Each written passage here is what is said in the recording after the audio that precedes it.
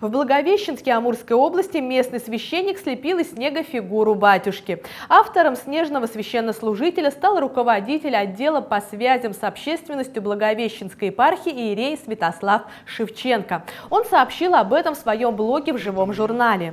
На Благовещенск обрушился мегатонный снегопад. И я подумал, а почему бы нет? Снежные бабы есть, а снежные бати нет. Вышел на улицу и слепил снежного батюшка со всеми атрибутами – бородой, бородой, усами, с куфьей, написал Святослав Шевченко. Для бороды он использовал веточки деревьев. Священник также отметил, что в рамках школьного занятия по основам православной культуры, которое он провел, он помог детям слепить снежного ангела.